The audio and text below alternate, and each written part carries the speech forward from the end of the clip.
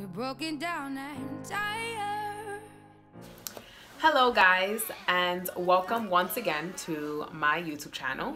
Um, today I have a special guest. My name is Grace Angeline Tineo. Those of you who may know or may not know her, um, Grace is my niece and she is seven years old. And today I'm gonna give her like a little interview to hear her story or read about her story. Um, there's a video on my YouTube channel that's called Grace's Story. And in the bio under it, I have explained exactly what happened with her um, when she was born. I'm not gonna go into details now because I'll be here forever. But um, Grace is doing great. Uh, she has about a month and a half um, that she got her surgery and she's doing amazing. Um, this is actually her second surgery and Yeah. uh, she's still recovering, but she's doing amazing. So, Grace, Yes. how did you feel before your surgery?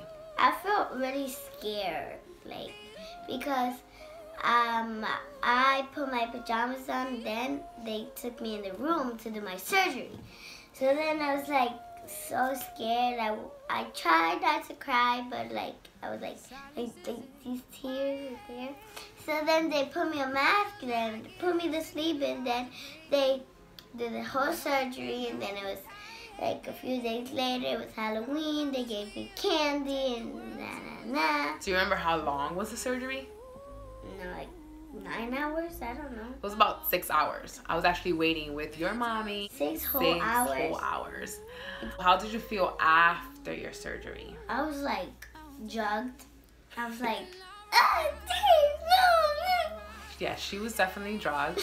Um, there will be one second that she'll be sleeping, and then the, another second she'll be yelling at us, telling us to get her juice or Cause I sometimes get thirsty. Yeah it was it was very um Interesting. interesting first of all show people your life because i know you know you sometimes think it's cool It's my bionic leg. Because i call it the bi- her bionic leg Because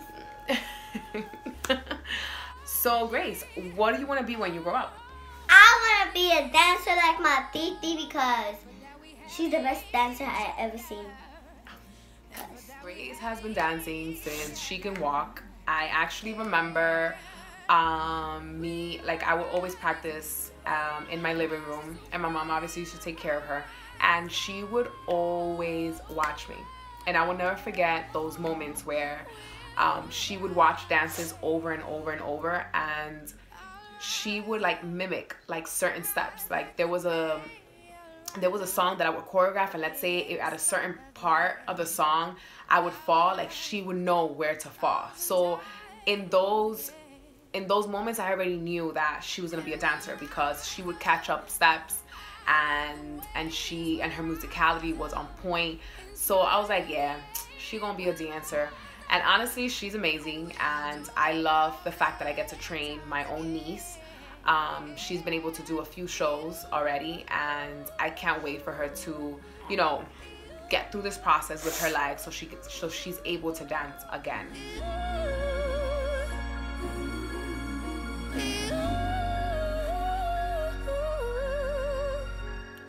With all this said, I just wanted to encourage you guys. Well, we wanted to encourage you guys to never give up. Like no matter what's coming your way, just know that you're not alone and that you can do it.